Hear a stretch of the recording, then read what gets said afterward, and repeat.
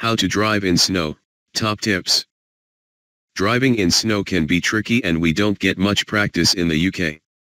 These top tips will help you keep safe. Preparing to drive in snowy conditions begins before you even set off in the car. The first question you need to answer is whether or not the journey is necessary. If you feel it is, then plan your journey using main roads, preferably routes that will have been gritted, rather than untreated back roads.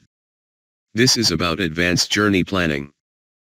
In snow and icy conditions, drive gently away from a standstill, using second gear if it's a manual car. Avoid revving the engine hard at all times and drive in a higher gear than normal. Safe speed is the key element in such conditions. Top 10 tips for driving in snow. Be prepared. Plan for the worst.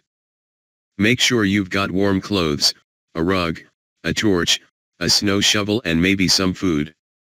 Also wear decent driving shoes driving in snow boots or wellies is a bad idea. The most important thing, however is getting some winter tires fitted. Be smooth.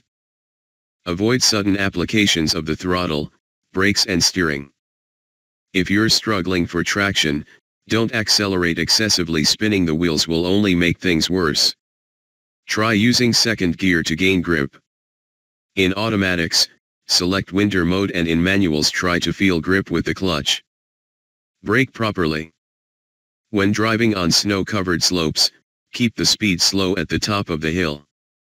It's easier to maintain a steady speed than slow down on the descent. Leave big braking distances apply the brake pedal gently and avoid triggering the ABS.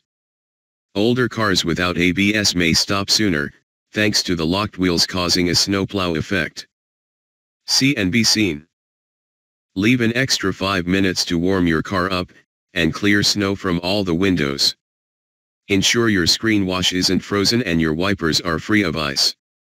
And always drive with your headlights on. Always plan ahead. Conditions may not be too bad when you set off, but check the road and weather reports for your journey. If you don't have winter tires, Try to avoid routes that have steep inclines and stick to main roads, which are more likely to have been treated.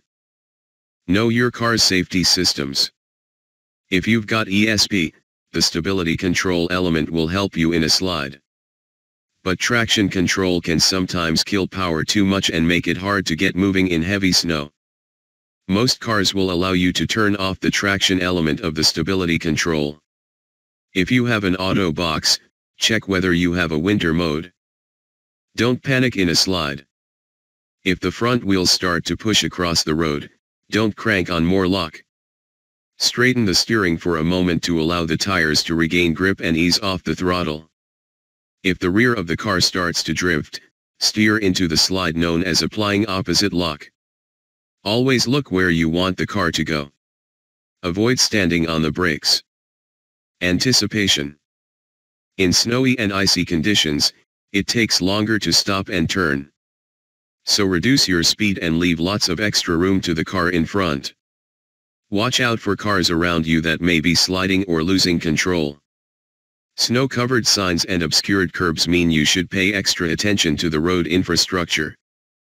Invest in a course. Nothing takes away the fear of driving in snow more than experiencing it in a controlled environment with expert tuition. Winter driving courses in the Arctic are not cheap, but great fun, and you'll come away with a host of new skills. If you're on a tighter budget, a skid control course is worth doing. Getting stuck. If you get stuck in snow and abandon your car, try to move it as far off the road as possible so that you don't block the way for drivers who are able to continue. If the car starts to slide back down an incline, Crank the steering to full lock and apply the handbrake this will lock the rear wheels, while the fronts will build a bank of snow like a plow, slowing your descent.